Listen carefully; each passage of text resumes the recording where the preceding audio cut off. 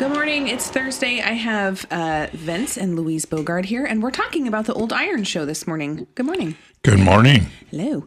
Uh, so the Old Iron Show is the club. Is it what is the club called? The Northwest Old Iron Club. Oh, okay. Well, there. Yeah. That was an and easy we, one. and we just call it the Old Iron Show. right. Yeah. Which is what we always see over at uh, um, Blue Heron in the in the field. Uh, big field. Yeah, with all the tractors and old farm equipment and all that kind of fun stuff. That's right. Yeah. Were you Plus, gonna say we have a car show on Saturday. At, at the Blue Heron. That Okay. comes in. It's So- part, part of the Old Iron yeah Show. the whole show uh so this year the event is in two weeks right august Right. 17th august 18th and august 19th uh noon to 5 on friday 9 to 5 on saturday and 9 to 3 on sunday Right. right uh is there admission Yes, it's three dollars per day, or you can get a, a three-day pass for five dollars. Mm-hmm. That's the original amount we've ever charged, and we've kept it low. And we just want people to come and learn a little bit about the history of of uh, how things used to be. yeah so are there people there um like are there folks from the club walking around and kind of providing history while while people are walking through all the equipment and cars It's primarily exhibits that are Mm-hmm. on display, and people are with their exhibits oftentimes. And if you are at the Oh, show, sure. you Yeah. wander around, you have a question about something, then you Mm-hmm. they're generally there they're there. somewhere yeah yeah, right. Many of our exhibitors are from out of town, Mm-hmm. belong to other clubs, and but almost all of the exhibitors will be glad to answer questions. Sure. Yeah, I've been to car shows before where like the guy's sitting right there by his car and he'll tell you whatever you want to know about it. Right, So- and with the engines, uh, the tractors are usually just lined up, and the owners are probably wandering around somewhere else Mm-hmm. or involved in putting on the show. But the engine displays, especially for safety reasons, when they have Sure. the engines running and being demonstrated.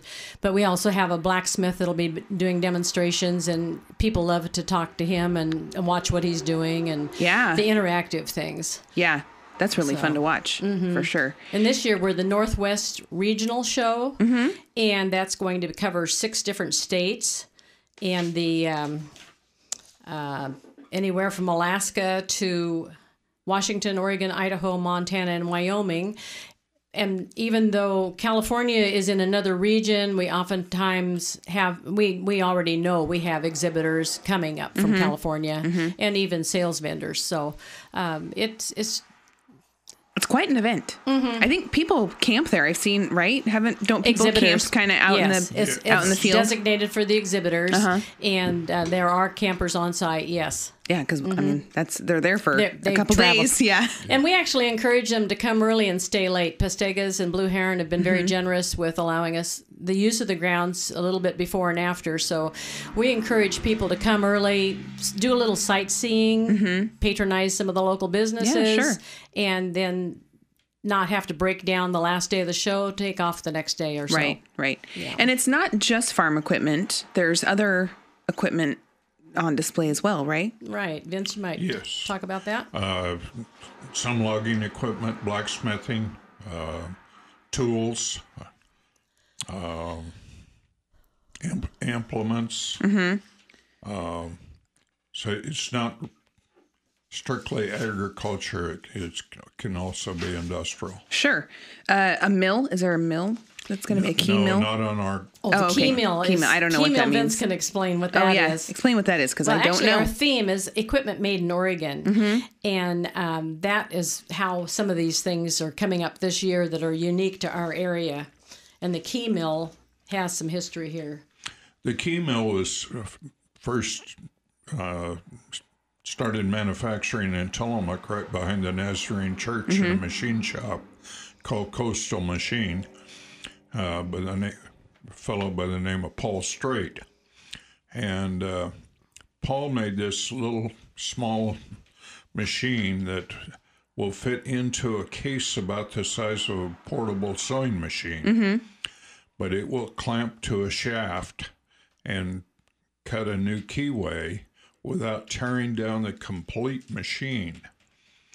And then he moved from Tillamook to Newberg the company still in existence, and they've broadened out their lines to include other uh, machinery. But it's it's unique in that it was made or built and patented here in Tillamook. Yeah, that's really cool. Another thing from with the Tillamook connection is the Steinbach Ironworks, Mm-hmm. and part of the Steinbach family has passed a few things along to the club in, in the hope that we'll keep history Sure. on display Mm-hmm. in some manner. And Vince has a few things that he's working on with that. And at the end of or after the show, it will be transferred to Tillamook Pioneer Museum. Oh, great. And Yeah. so it's going to be at some point incorporated in Mm-hmm. the basement with the Sander Ironworks. Right. Right. Do the does the Pioneer Museum donate anything to be on display, or do they mostly keep it downstairs?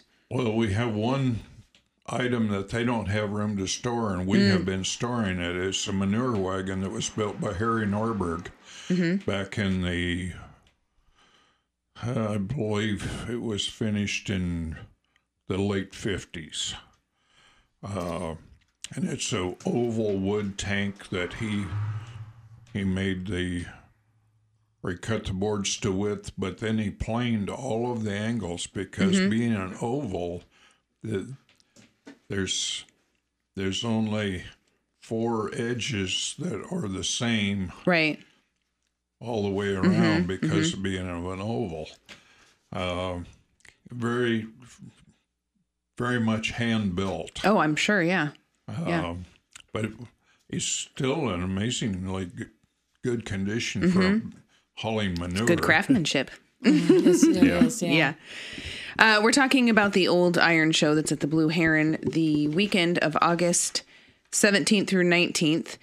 Um, you look like you have something else you want to talk about, Louise. Well, I was. I just wanted to make sure I plugged that in case someone tuned in late. Right. I was thinking about the fact that uh, when you asked about the museum, Mm-hmm. for several years we were having a Step Back in Time event. Yes. And we're right. all part of the History Alliance, the Tillamook Coast History Alliance. Mm-hmm. And so when we were having the Step Back in Time events, we were all busy doing our own events Right. that weekend. And so it, it, we didn't actually talk to the museum ahead of time about trying to have them bring anything to the show. Mm-hmm. But they are open that day too. And so their staffing situation Right. situation because is. now the step ti step back in time event is in over Thanksgiving weekend this It year. It will be later this year, yes. Yeah. So that'll be a new event. Are you going to have the um, fire hydrant on display that the Steinbach Ironworks Yes, I will. did? And what else will you have, Vince? Uh, I've got uh, a, a couple manure pumps. Um, they manufactured many things, uh, but they built cheese presses for the cheese Oh, yeah. factories, which were water powered. Uh, they built. Uh, Tugboats. Yes, they built three tugboats in World War II for the Navy, and those were later shipped to, or somehow got to England and uh, stayed over there, as far as I know. Uh,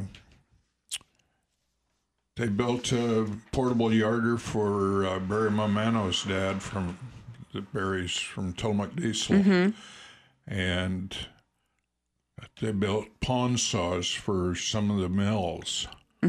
Uh, but I, I think most anything that required cast iron, because they had a foundry. Um, They could and do we it. We have in our possession some patterns for the uh, manure pumps, and we have patterns for uh, some of the harrow parts they made of pasture harrows. Mm-hmm. So that's all going to be Now, when it's sent to the will it be on display? Museum. Yeah. Oh, to the museum. Cool. Yes. It's all outside, right? It is. Because It and it, but that's why you do it at the end of August because we're The weather knock is- on wood I know it is. It should have some decent weather. it's it's a little bit of everything. It can Mm-hmm. one year it was about 100 degrees one morning and of course we get such strong winds at times. Yeah, yeah. Mm-hmm. Occasionally there's a shower. So sometimes the show closes early because of an event Of the like weather, that. yeah. But we are an outdoor museum. We don't have any buildings or anything like that. Mm-hmm. Um, I'll mention one of the special exhibits, and Carl's Weifel is Mm-hmm. sponsoring transporting a large traction engine, a steam traction engine. It's a 1921 Nichols and Shepard 1650 steam traction engine. It weighs 22,000 pounds, and a lot of people are familiar with uh, the the steam engine that steam tractor that. Uh, Pastegas had on display. Mm-hmm. Right. He used to drive it, or had somebody drive it through the grounds a few times uh, each day during the weekend. Uh-huh. so you kind of see how it actually ran. Right, Mm-hmm. right. And I mean, it, you hear that thing coming, you see that steam coming out. Right. It's kind of like watching a steam train coming down Yeah. the tracks, you know? it's really, really a hit with people, and it's exciting. It's been several years since we've had something like that. So it's nice to have something um, out of the ordinary. And where is that? Uh, where is that coming from? It's out. Uh, it's stored at Brooks, isn't it? Yes, it's Uh, at at their museum out there. The owner lives out in the valley. Oh, okay. Yes, and he contacted us. He found out we were uh, putting the on the show. show, and it was a regional show, and and uh, trying to offer something that might be out of the ordinary for us because that's not something we had on the coast. Right. How many exhibits are there? Well, exhibitors, uh, there's probably going to be over 40 exhibits. And then we have a swap meet, and usually about 10 vendors or so. We never know from one year to the next who's going to be uh, coming. Uh, I mean, we know some of them are, Right. but a lot of them, it's just uh the day of when they register. And, um, and we usually expect about 700 people um, that come through during the weekend. And this year there may be more than that. You never, it- it's all Right. variable Well, weather. and it, I would say weather and well, the creamery certainly is bringing a lot of people in. So It is. Yes, and it is. sometimes we've experienced where Highway 101 is at a standstill. I've heard You recently have that it four has lanes, been. Yeah. and if people feel like I can't get off the highway and back on, On, I'm right. not going to stop. right. So we saw that a, a year or two ago, Mm-hmm. and I'm I'm worried about that this year, but we'll see. People people come early, you're probably going to get in easier than if you right. come later. Right. Yeah. Right. Is the Blue Heron having any specials or, or do they do anything special during the weekend? They gear up for us and Yeah, have I a know, lot I'm of food. sure. Yeah. Yeah, no, I don't think that there's necessarily anything special planned. Um, not that I've heard. yeah. But Not uh, we're aware of. yeah. Yeah. But Yeah. I mean, they Love always have delicious food, and they Absolutely. have also all their fun little animals and right things to see a lot of things to. Mm-hmm. taste test a lot of people that come to our show as exhibitors and as visitors will definitely make their way over there and maybe do wine sampling or Mm-hmm. have lunch over there we will have lunch on site too and this year is going to be the twins ranch catering Oh, yeah.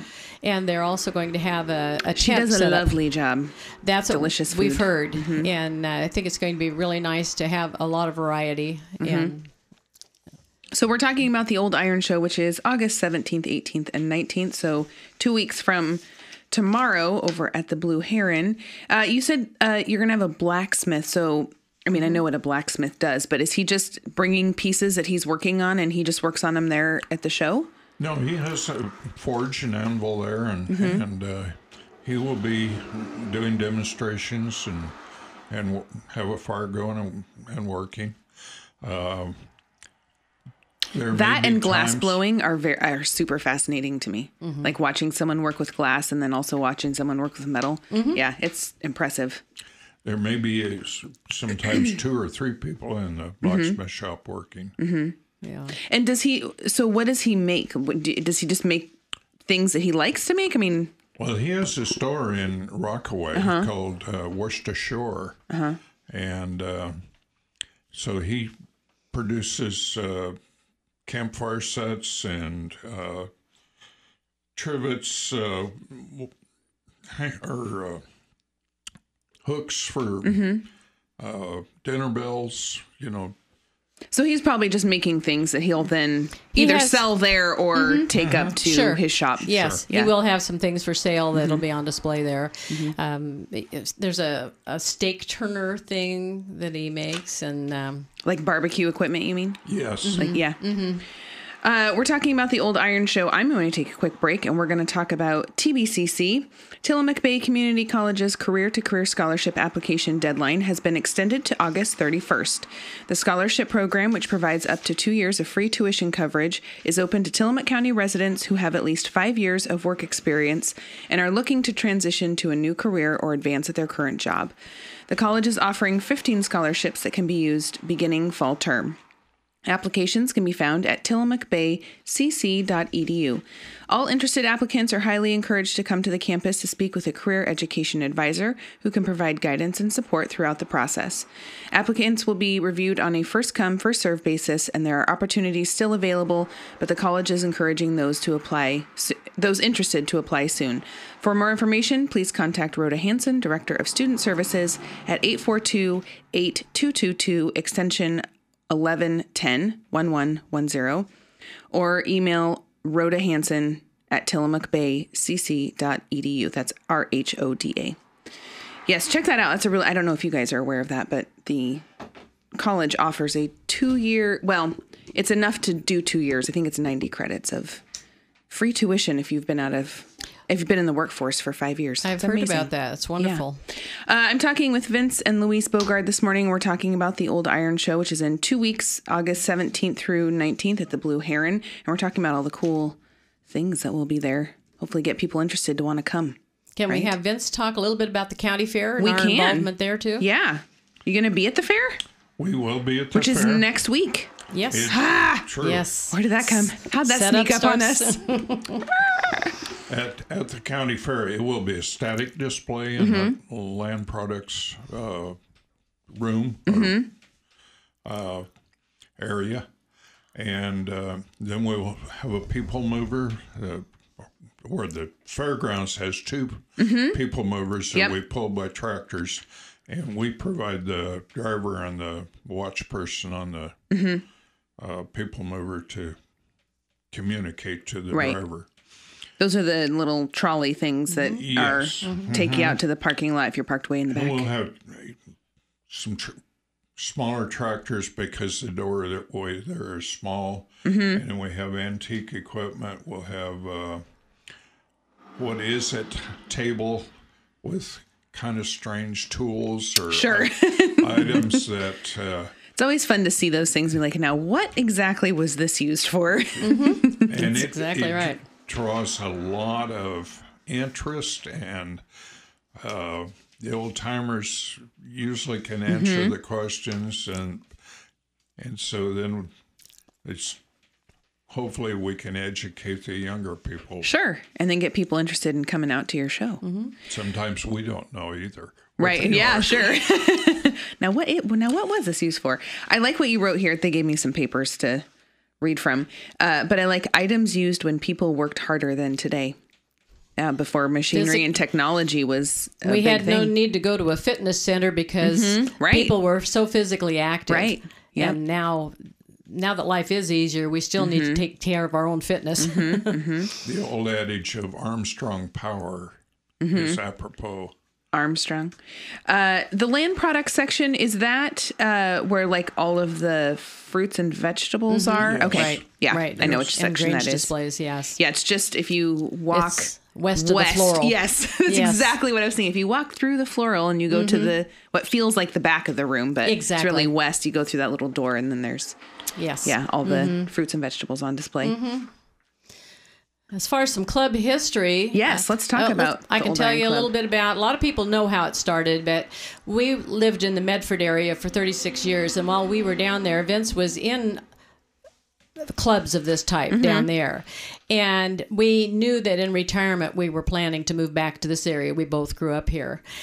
And when he would come, like we came to the county fair, he'd see people like Rudy Fink or Mm-hmm. anybody, old timers that lived here. And he thought, you know, there's got to be a lot of equipment, old stuff that's been around here. People have it in barns and sheds. Yep. And he said, maybe there's enough interest to form a club and do something like that here. And um, we moved back in December, or we moved back in June of 03. And in that December, we had Rudy and Gary Hersher, half a dozen guys came over mm-hmm. and they talked about the possibility of starting a club. A few of them had been to Brooks to the big antique powerland there, but not very many of them. And they uh, they would they expressed an interest and said, "Well, we'll talk to some other people." And by February, we had 20 people that were interested. Wow.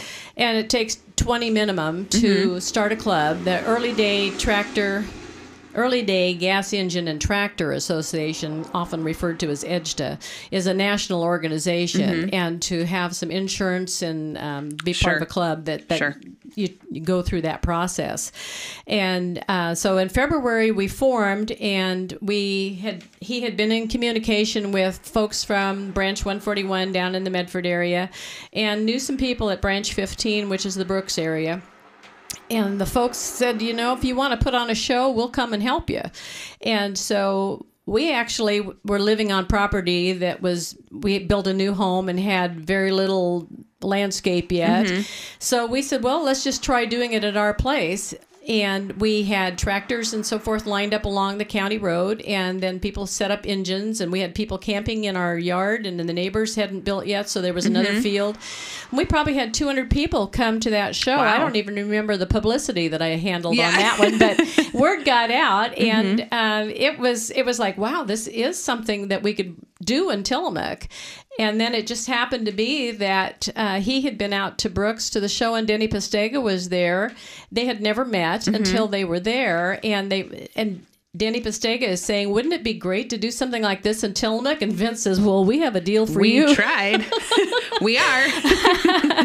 And so the following year, and for the last, this will be 14th year that we've been doing this at the uh, Blue Heron. Mm-hmm. And it's just worked out. A great location and um, just brings in a lot of people. It just, um, the majority of our people, like he said, do come from out of the area Mm-hmm, as exhibitors and the, and many of the visitors. So it's it's been a great partnership and something Yeah. good for the community. And it's great. Um, I, I think up Solly Smith, you probably don't get a lot of people that are driving by and going, "Oh, what's that? Let me pull over." But at the Blue Heron, exactly, and we couldn't have nice accommodated space. more people as Right. it was. Yeah. but um, but all good things sort of kind of wind down Mm-hmm. and our 15th show and we have been talking the last couple of years that by the time you're in your mid 70s it might be time to start looking at the bucket list and change Mm-hmm. perspective and we're we're not sure if somebody else is going to step up and take the leadership role and do this but Doug Hendrickson has been our show chair since 2013 and he too has other things that happen this time Mm-hmm. Sure, of year that sure. he'd like to be doing. So the three of us are going to be stepping down, and this may be our last show. So uh, we do hope that let's people will come hope out. not. And Yeah. and if they come out and maybe can encourage somebody else to get her going, but we'll see what the future Mm-hmm. so holds. your club. Uh, your club puts it on, right? So, Mm-hmm. Yes. are you looking for? I I mean, you have to have members for your club. Do you? Are you looking for new members that maybe would help step into those roles? Yeah, what do you think? Usually we are recruiting every year, and right now we just don't have a, a, a clear Well, vision. If if we got enough, then we could re- that would be willing to Take get it over, involved. Uh, sure, right? absolutely. The aging of population is a lot to do with it too. Sure. I mean, we're Yeah. on the younger side. Right. of the of the membership. We Mm-hmm. have a few that are younger, but very few. And the ones that are younger are working and don't have extra time too. Right. So we kind of got that window of life when you're giving to the community and you have the energy and the time and so Mm-hmm. forth. So if anybody fits that bill, they can contact us. Yeah, absolutely. uh, do you have a website? No, just We have an email. email address. Yes. Just Yes. kind of long. yes, it is. It's BR159 NW Old Iron at gmail.com. And that stands for Branch 159 and the name Northwest. of our club. Yeah, yes. Old Iron. Right. And uh, we have the phone numbers of people to contact. Mm-hmm. Um, there is a national website, and that is an easy one. It's www.edgeta.com. And if people go to that website, they can find out uh, of the 100 or so branches in at least 30 states, they can find out what activities are happening. So if they're traveling and want to take in a show somewhere else, that, Mm-hmm. Right, that's an right. opportunity too. Uh, your phone numbers are 842-8460 and 801-4900. Is that Yes. right? Okay, that's what you gave me on your flyer, so I hope that's right. right, right. Yeah, 503 on both yeah. of them. Well, Yes. thanks for coming in this morning. We'll be sure to talk about the Old Iron Show. Go check it out and in two weeks, August 17th through the 19th. Uh, it's a Friday through Sunday at the Blue Heron. Always a fun time. Let's see, tomorrow we will have folks here from the Farm Bureau. Don't forget senior meals, noon every weekday at the Kiwanda Community Center in Pacific City, as well as the Tillamook Senior Center at 4th and Stillwell. Cost is $3 for seniors and $6.75 for everyone else. Tomorrow is Moonlight Madness downtown on 2nd Street Plaza and 2nd Street starting at 4 p.m. with bouncy houses, games, a drive in movie theater for kids, and a lot more. Saturday, the Nehalem Bay Winery is hosting their se- second annual Day of the Dog fundraiser starting at 2 p.m. Free admission and dog friendly. This fundraiser benefits Nehalem Animal Healing. They'll have food, drinks, raffles, silent auction, dog games, and contests. And tomorrow, Karen Lovely will be at the Tillamook County Library at 2 p.m., offering up a mix of contemporary blues and blues rock. Don't forget about our farmers markets. Uh, Manzanita tomorrow from 5 to 8. Tillamook Saturday from 9 to 2. Neskowin Saturday from 9 to 1. And Pacific City Sunday to uh, 10 to 2 at the South County Library. And happy birthday to Becky Wilhelm and Sarah Christensen. Thanks again, guys, for coming in this morning. You're You welcome. bet. Yeah. Thank you, Tillamook, for listening.